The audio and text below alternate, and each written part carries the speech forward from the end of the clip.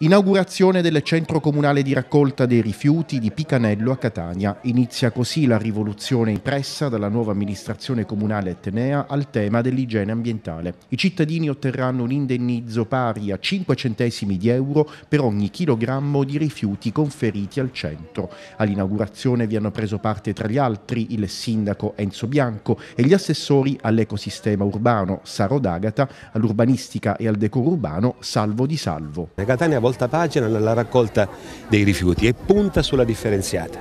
Punta sulla differenziata vuol dire che noi daremo un premio, un'incentivazione ai cittadini che eh, collaboreranno. Ogni, eh, ogni chilo eh, di raccolta differenziata conferita prevederà uno sconto consistente nel pagamento della tassa sui rifiuti. 5 eh, centesimi sino a un massimo di 60 eh, euro, si tratta naturalmente per una famiglia media di un buon risparmio. L'obiettivo è quello di aumentare la quota della raccolta differenziata dei rifiuti.